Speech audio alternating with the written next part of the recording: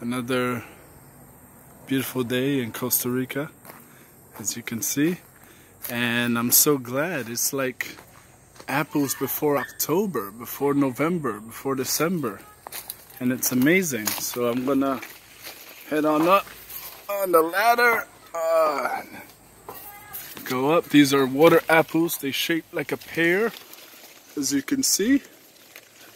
And it has one big seed that resembles an avocado seed somehow. But um, as you can see, the ones higher up are gonna be the ones that are gonna be ready first. So I'm gonna pick this one, nice and ready.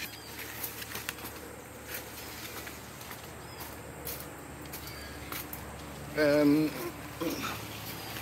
we're going to pick some more from this big bunch over here. Uh, uh, oh, this one's pretty big. Oh yeah, this one's really big. Oh wow. It's pretty good size. And oh, let's see, get some really ripe ones here. Pretty ripe. And we're gonna go higher up, try to get some of these and see how it goes. But uh, they, they're pretty red and pretty ready as you can see.